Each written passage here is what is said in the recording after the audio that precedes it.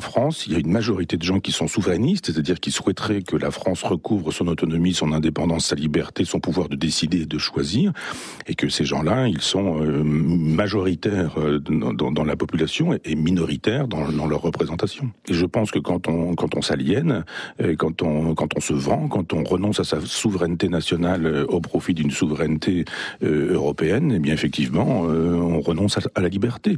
On n'aime pas la liberté quand on demande à Bruxelles de, de, de décider de notre ligne politique.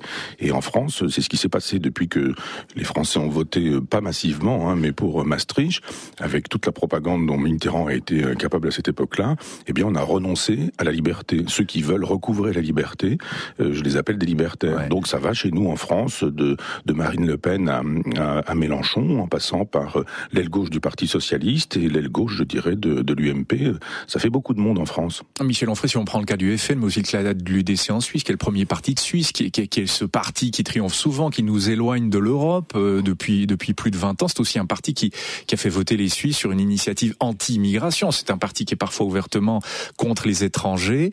Euh, c'est le risque, euh, c'est le, le, côté sombre du libertarisme, ça? euh, d'abord, euh, défendre la liberté, c'est pas être un libertarien. Vous savez que le, mot signifie quelque chose de, très précis, d'une part. D'autre part, euh, considérer que la totalité des flux du monde, des, flux d'immigration du monde ne peuvent pas se trouver concentrés dans, les pays d'Europe, c'est pas ne pas aimer les étrangers.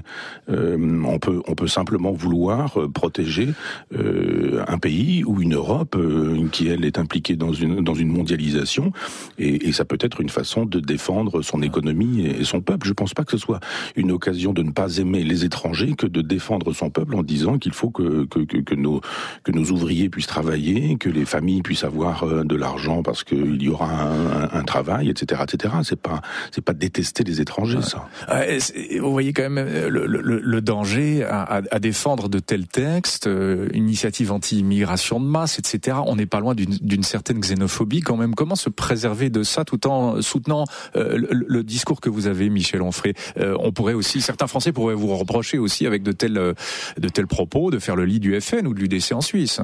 Oui, oui bah ça j'ai bien l'habitude, mais c'est pas bien grave. Moi, je, je, tiens plus à la liberté qu'au jugement de mes contemporains, et, j'estime que on, doit pouvoir penser la question de l'immigration euh, sans savoir que Marine Le Pen dit ceci ou dit cela, et qu'il ne faut pas penser comme ça, puisque Marine Le Pen penserait ceci ou penserait cela.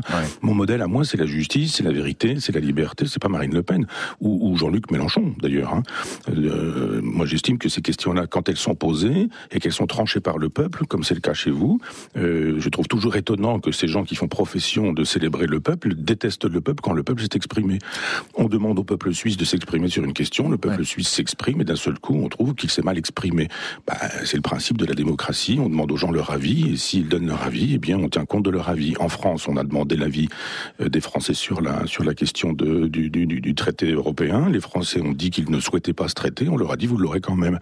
Et, c'était, euh, souvenez-vous, deux individus dont on prétend qu'ils sont opposés, à savoir Sarkozy et Hollande. Ce sont ces deux-là qui, après avoir euh, constaté qu'en demandant au peuple, eh bien effectivement, ils ne souhaitaient pas de l'Europe, on leur a redonné de l'Europe euh, en convoquant le Sénat et l'Assemblée nationale. Alors je reviens sur la question européenne que vous évoquiez à l'instant, Michel Onfray. la France devrait faire quoi? Sortir de l'Europe, de l'Union européenne, sortir de la zone euro? Euh, moi, je pense que par exemple, les, les Anglais sont, euh, sont assez malins, c'est-à-dire ils sont dedans et dehors, et qu'ils disposent de leur monnaie. Quand on nous par ces opportunistes, disent certains, hein, euh, les Anglais. Oui. Bah, ils ont bien, bah, ça s'appelle, bah, ça s'appelle faire de la politique, être opportuniste. Être un opportuniste en, en politique, c'est quelqu'un qui défend son peuple, qui défend sa monnaie, qui défend sa nation, qui défend son existence, son identité. Bah, je pense que votre vocabulaire est le vocabulaire qu'on utilise quand on est un libéral, où on considère que protéger ses ouvriers, c'est être xénophobe, que protéger sa nation, c'est être opportuniste opportuniste, enfin xénophobe, opportuniste, ce sont des, des qualificatifs déplaisants. On sait très bien que c'est déplaisant. Euh, moi, je préfère dire non, protéger ses, ouvriers et pas être mm. xénophobe, c'est pas être opportuniste que de dire euh, quand on est un homme politique anglais qu'on défend euh, les Anglais et l'Angleterre. Alors revenons à la France. elle, doit sortir de l'Union et de la zone euro, clairement, selon vous?